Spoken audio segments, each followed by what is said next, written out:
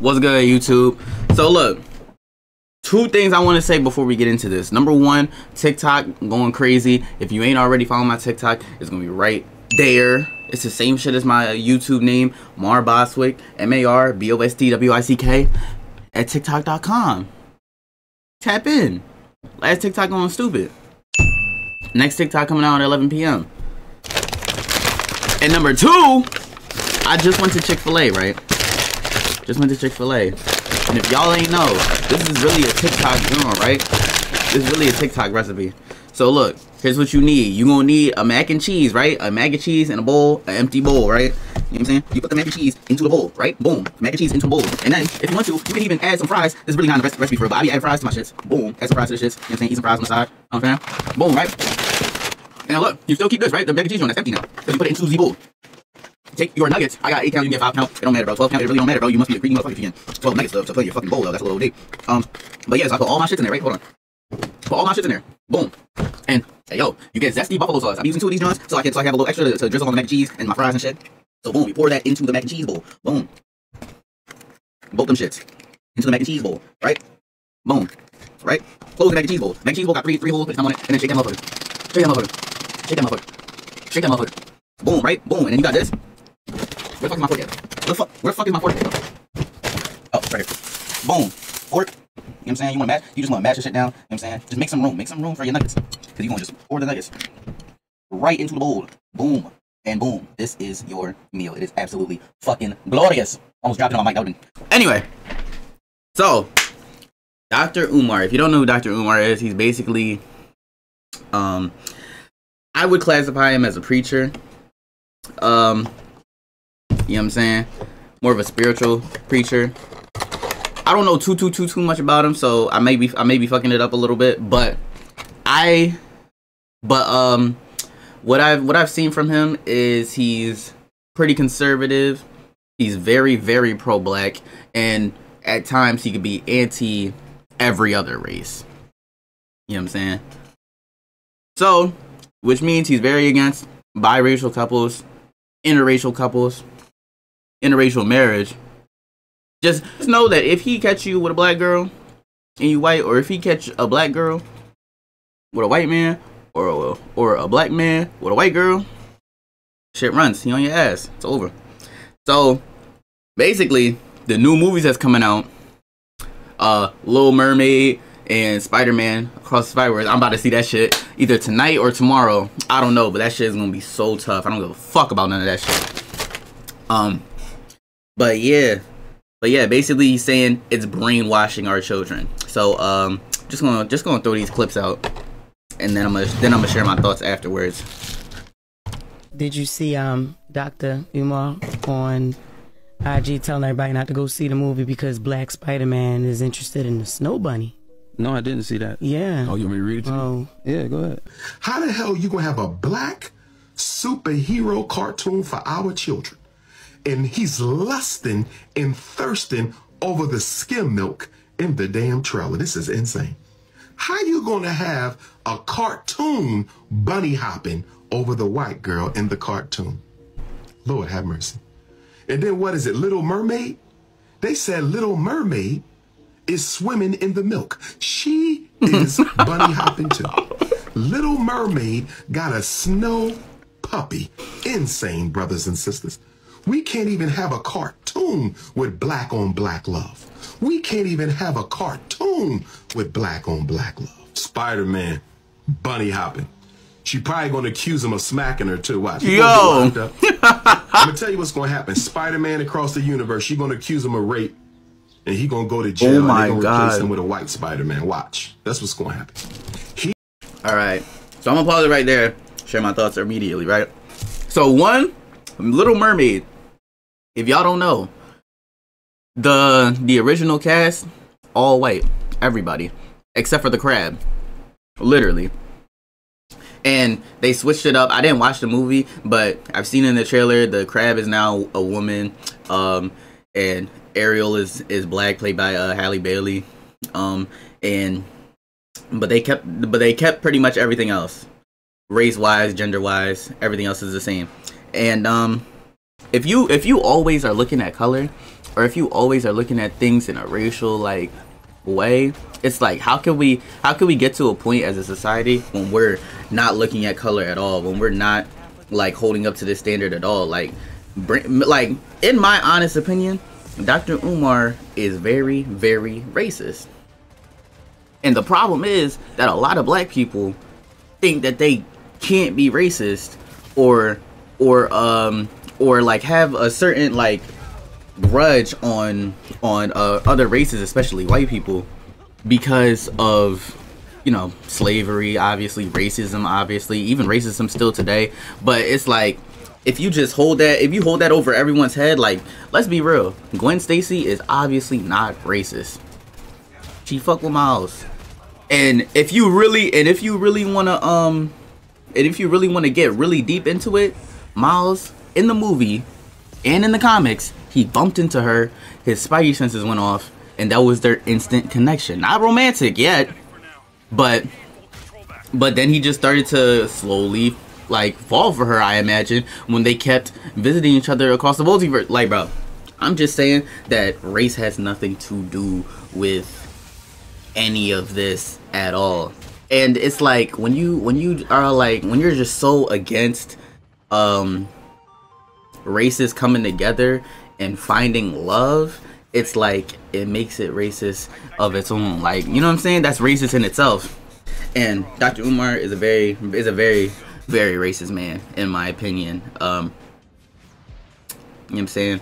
Like he like he's pro-black which is cool but he's also racist. Like let's be real. He don't want nothing to do with the white folk. He don't want nothing to do with the black folk. In the white folk so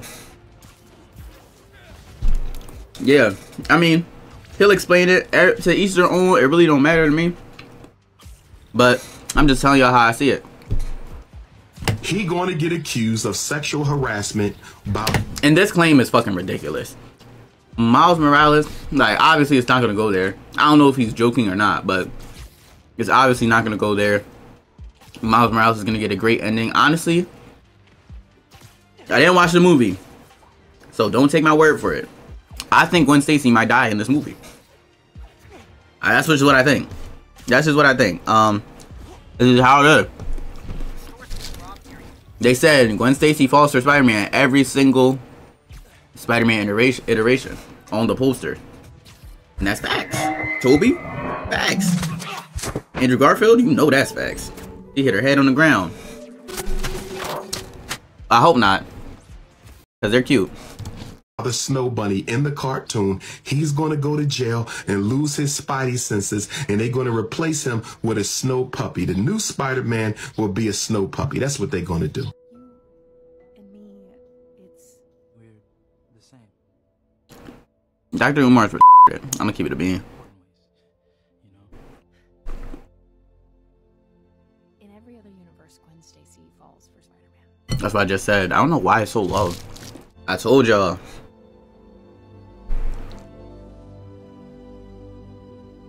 And in every other universe, it doesn't end well.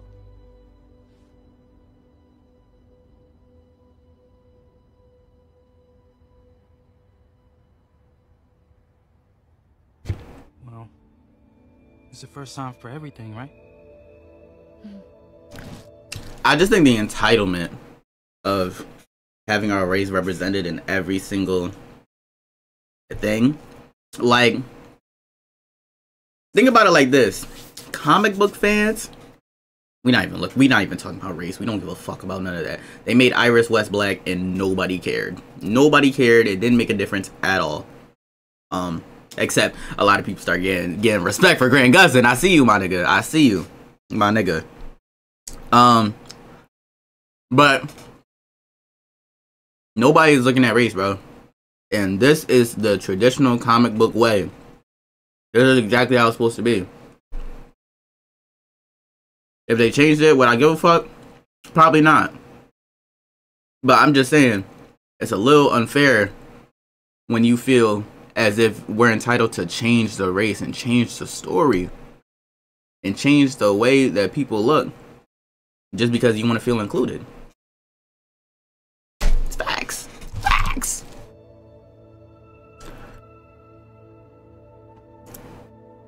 This movie This might is be a real old. thing.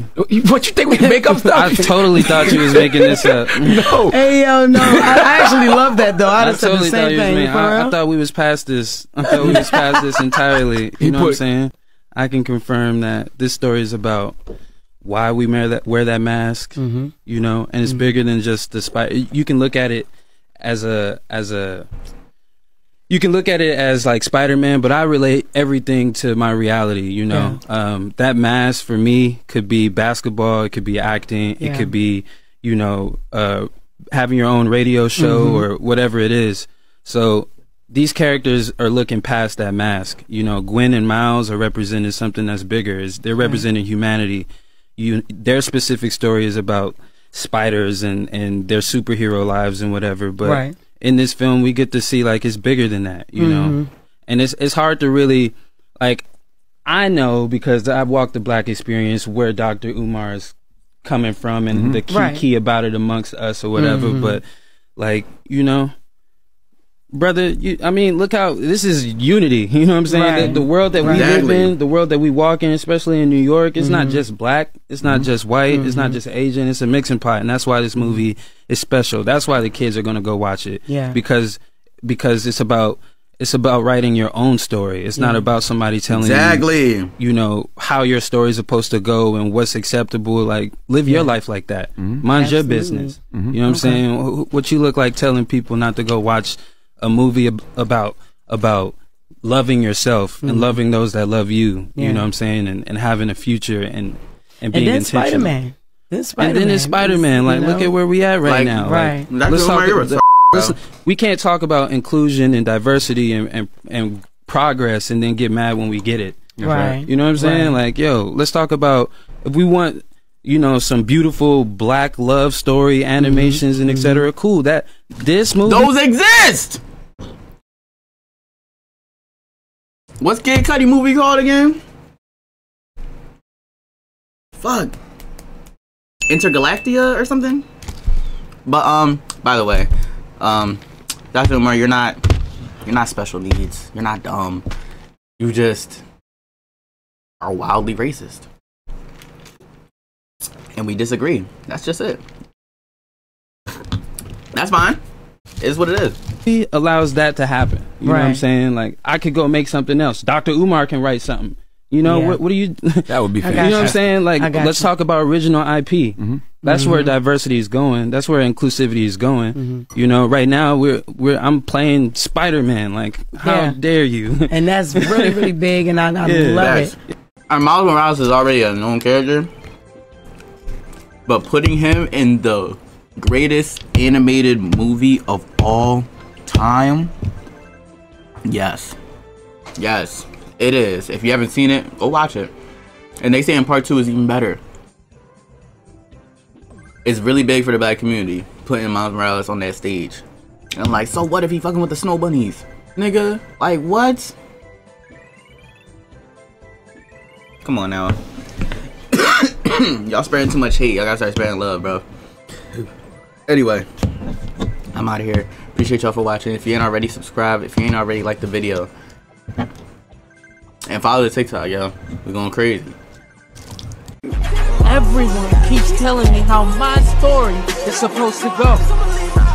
Nah, I'm gonna do my own thing.